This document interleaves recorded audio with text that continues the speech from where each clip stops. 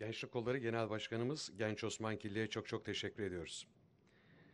Anakademi İstanbul İl Başkanım, Sayın Genel Başkan Yardımcım, Gençlik Kolları Genel Başkanım, çok değerli Gençlik Kolları İl Başkanlarım. Efendim izin verirseniz konuşmalarını yapmak üzere. Şimdi Türkiye'nin tam vakti.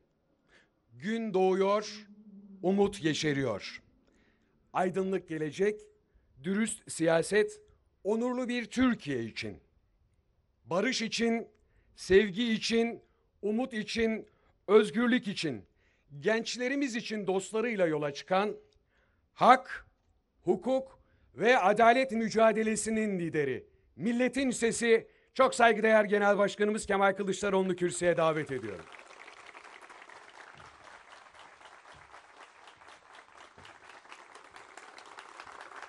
Evet. Hepinize yürekten teşekkür ederim. Güzel bir atmosferdeyiz. Doğanın yeşilliği ve enerjisi sizlerin enerjisiyle buluşunca daha güzel bir tablo ortaya çıkıyor. Türkiye'nin büyük sorunlar yaşadığını biliyorsunuz.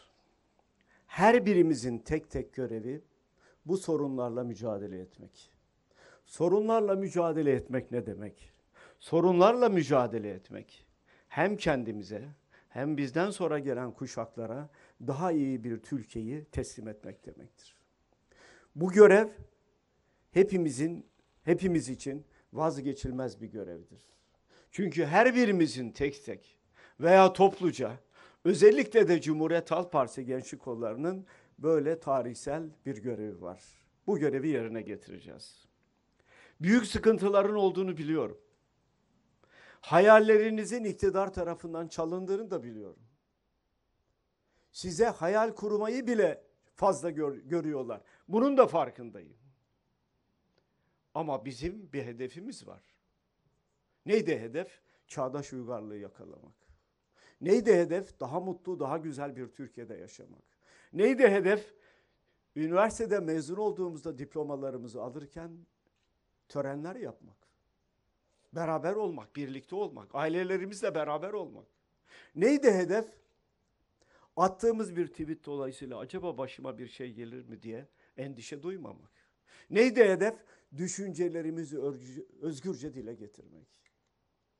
Bu hedefi gerçekleştirmek için yola çıktık. Cumhuriyet Halk Partisi'nin gençlik kolu başkanı olmak, genel başkanı olmak sıradan bir olay değildir. Önce bunu bilmemiz lazım. Çünkü devraldığınız bir miras var. Mustafa Kemal ve arkadaşlarından devraldığınız bir miras var. O mirasın bize gösterdiği hedef çağdaş uygarlığı yakalamak ve onu aşmaktı. Çağdaş uygarlığı yakalamak ve onu aşmanın yolu daha enerjik, daha kararlı, daha azimli, geleceğe güvenle bakan, her alanda iyi yetişmiş, düşüncelerini özgürce dile getiren bir toplumu inşa etmektir. Bu toplumu inşa etme görevi öncelikle sizlerdedir. Bu tarihsel misyonu yerine getireceksiniz. Getireceğiz, beraber getireceğiz. Büyük sıkıntılar yaşadığınızı biliyorum. Önümüzde sınavlar vardı, sınavlara girildi. Öğrenciler tercihlerini yaptılar. Kendilerinin acaba hangi meslekte daha başarılı olabilirim diye düşündüler. Üniversite tercihlerini yaptılar. Sınavları kazandılar. Ve bunlar üniversiteye başlayacaklar. Ama yurt sorunu var. Anadolu'dan gelen bir gencimizin, bir evladımızın İstanbul'da yurt bulamadığı takdirde ayda 9-10 bin lira kira verecek bir ev tutabilir mi? Böyle bir tabloyu hiç düşündünüz mü? İktidarın gençlere reva gördüğü böyle bir tabloyu hiç düşündünüz mü? Anne baba seviniyor oğlum kızım üniversiteyi kazandı diye ama bir süre sonra ne olacak acaba? Nerede kalacak diye. Gençlere sözüm var. En geç bir yıl içinde yurt sorununu bitireceğiz. 20 yıldır bitiremediler, bir yıl içinde bitireceğiz. Bir yıl içinde göreceksiniz. Bir yıl tamamlandığında iktidarımızda birer kişilik, üçer kişilik sıcak suyu, soğuk suyu, geniş bant internet erişimi olan odalarda kalacaksınız. Hiç kimsenin gözü arkada kalmayacak. Acaba kızımız oğlumuz nerede diye bir endişe duymayacak. Bunu beraber yapacağız ve bu hedefi beraber büyüteceğiz. Bizim temel görevlerimizden birisi de budur. Üniversitede mezun oldunuz. Gayet güzel. Sınavlara gireceksiniz. Kafanızda kocaman bir soru. Ya torpil olursa? Ya sınav soruları çalınırsa? Ya hakkımız elimizden alınırsa? Ya sözlüğe giriyorum sözlü sınavda elenirsem? Bu düzene de son vereceğiz.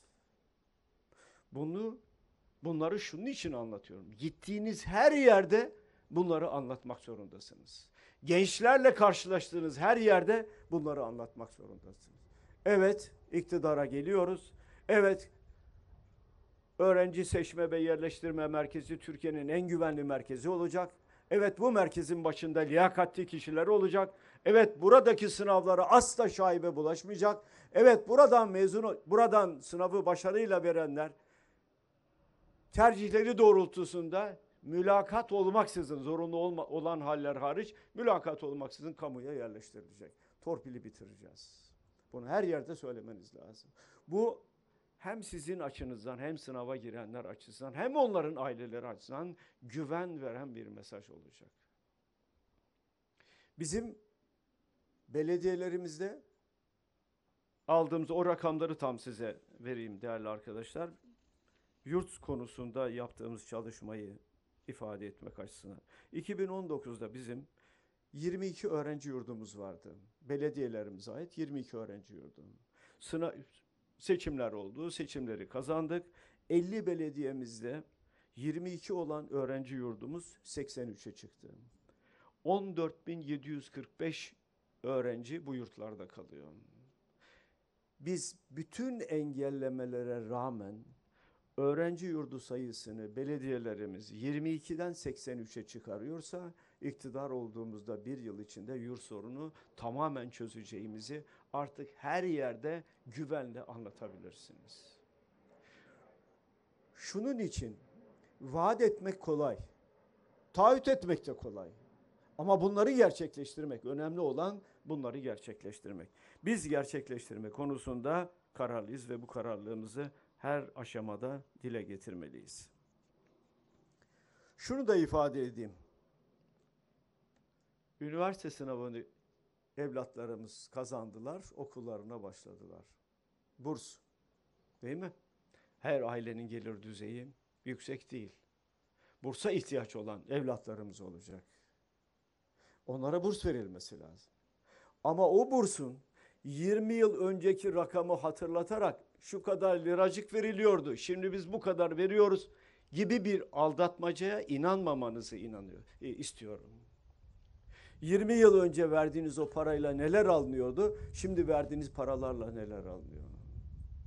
Kredinin de öğrenciye verilecek kredinin de rakamının yükseltilmesi lazım. İki şey istiyoruz. Bir, öğrenci bursunu yükselteceksiniz. İki, krediyi yükselteceksiniz. Üç, artışları, artışları Eylül ayından itibaren yapacaksınız. Okullar Eylül'de açılıyor.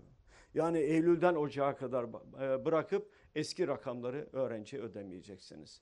Bunu da gittiğiniz her yerde talebimiz olarak, bu talep Bay Kemal'in talebi değil. Bu talep doğrudan doğruya gençlerin talebidir diyeceksiniz. Gençler böyle istiyorlar diyeceksiniz.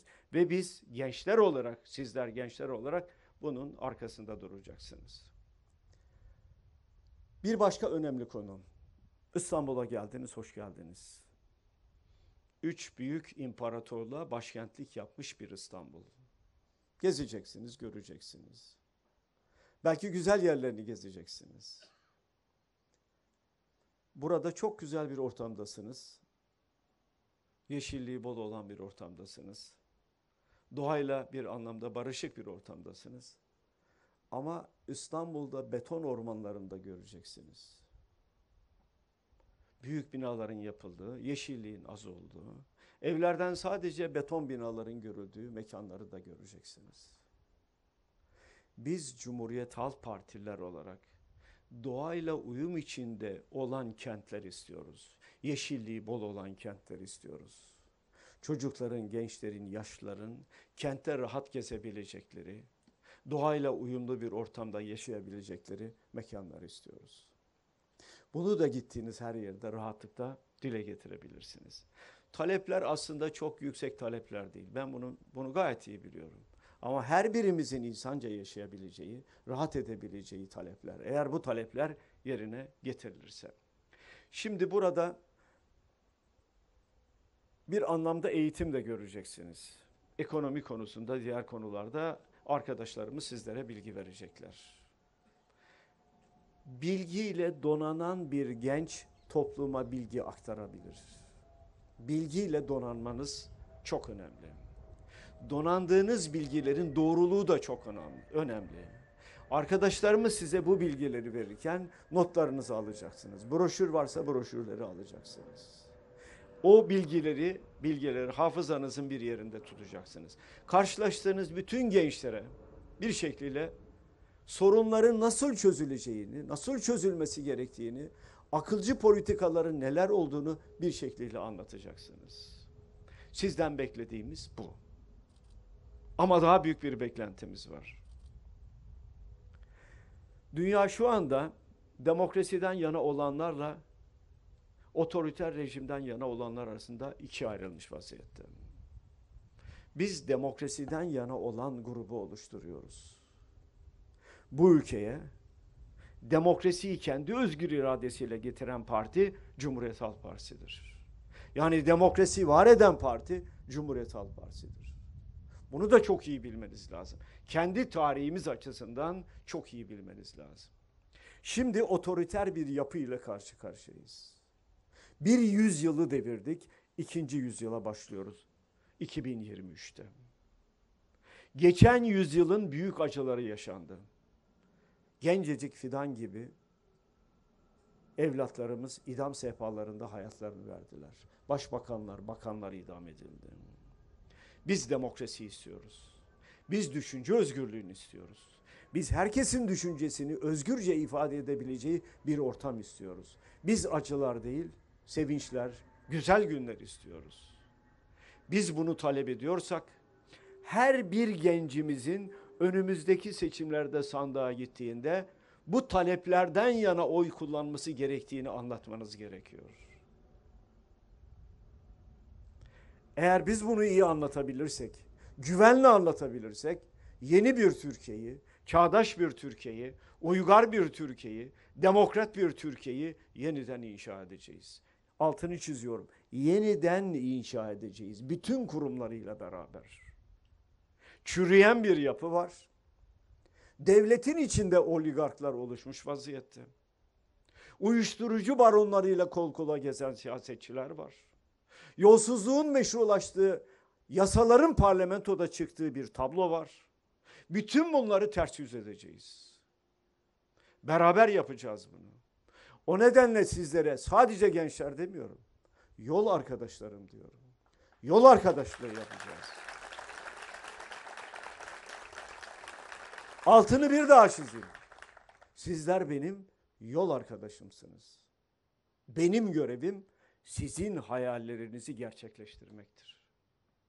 Hayali hayal olmaktan çıkarıp daha güzel günlere sizi ulaştırmaktır. Şair diyor ya, insan hayal ettiği müddetçe yaşar diye. Sizin hayallerinizi çaldılar. Çalınan hayalleri iade edeceğiz. Bunun mücadelesini yapacağız. Peki nasıl? Bu da bir soru. Sandık gelecek. Oy kullanmaya gideceğiz. Bir, her gencin mutlaka sandığa gitmesini sağlayacaksınız. Her gencin sorumluluk duyan, kendisinin, ailesinin, toplumun, akrabalarının sorumluluğunu duyan, ülkesinin sorumluluğunu duyan her gencin sandığa gitmesini sağlayacaksınız. Otoriter rejimden değil, demokrasiden yana oy kullanmasını isteyeceksiniz. Demokrasinin erdemini, güzelliğini anlatacaksınız. Baskının ne kadar tehlikeli olduğunu anlatacaksınız. Yaklaşık 7,5 milyon genç ilk kez sandığa gidip oy kullanacak. Bir daha altını çizeyim. Yaklaşık 7,5 milyon genç ilk kez sandığa gidip oy kullanacak. Türkiye'nin kaderini siz belirleyeceksiniz, ben değil. Türkiye'nin geleceğini siz çizeceksiniz. O nedenle bilinçli olmak, ülkenin sorunlarına kilitlenmek, sorunları çözmek için çaba harcamak, demokratik yollarla bunun önünü kulvarını açmak sizin elinizde.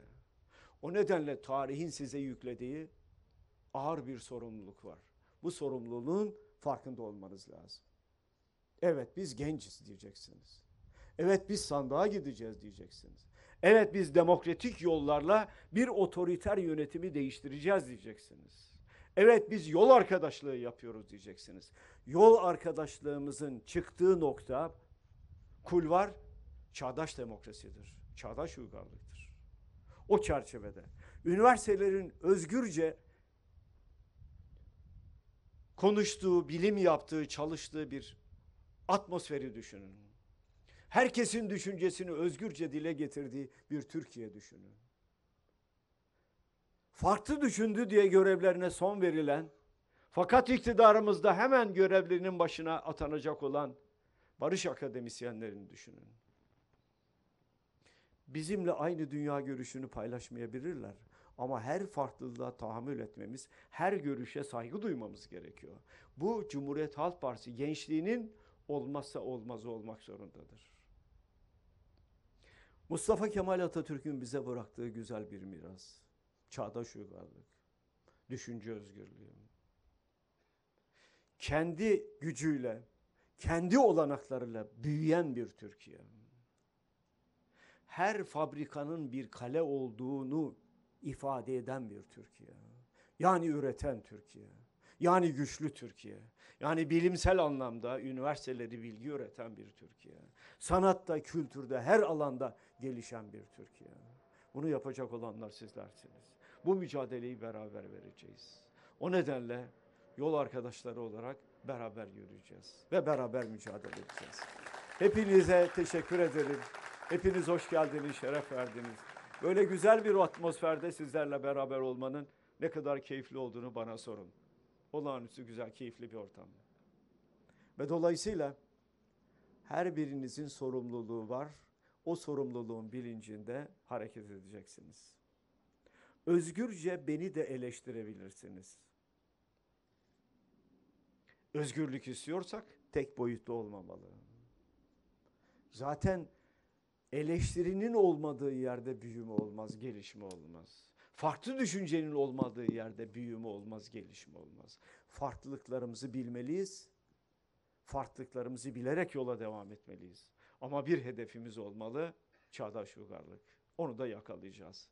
Kimin sayesinde? Sizlerin, yani gençlerin. Sizlerle beraber kol kola, omuz omuza bu mücadeleyi yapacağız. Hepinize teşekkür ederim. Hepinize sevgiler, saygılar sunuyorum.